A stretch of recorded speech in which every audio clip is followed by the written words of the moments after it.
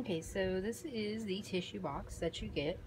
Um, I absolutely love the design on it. It's really pretty with a nice gold highlights and solid white.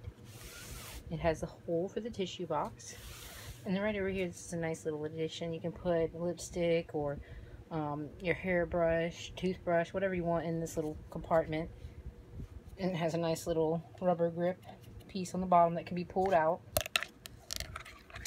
so that you can clean it off. And this is what the underside looks like. Really pretty product. Nicely made too. It's all sturdy, one whole piece, and just flawless.